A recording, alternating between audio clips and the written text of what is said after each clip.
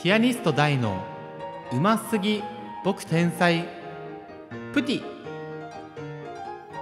この番組は聞いていただいている方々のご好意によって放送させていただいています。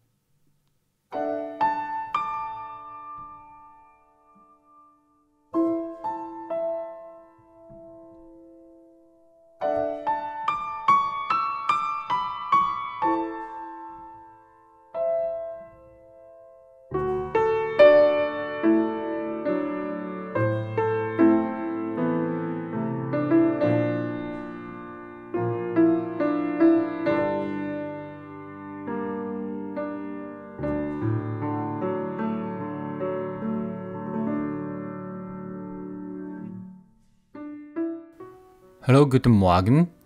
おはようございますピアニストの大です今日は10月13日水曜日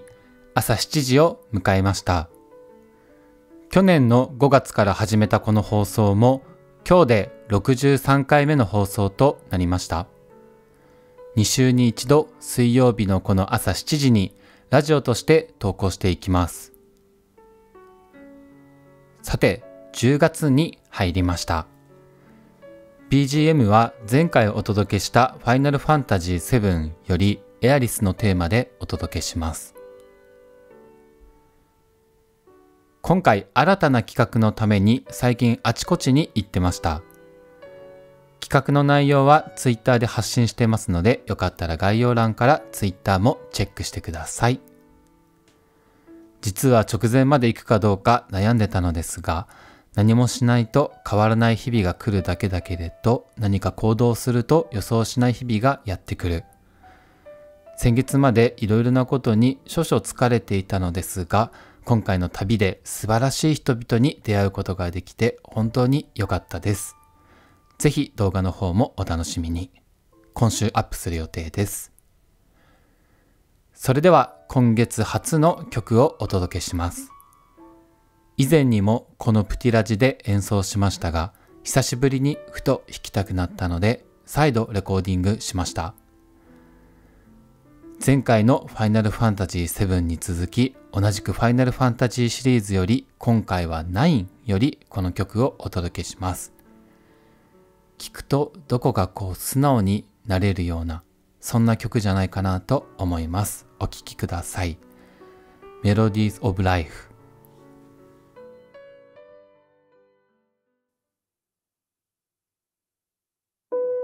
い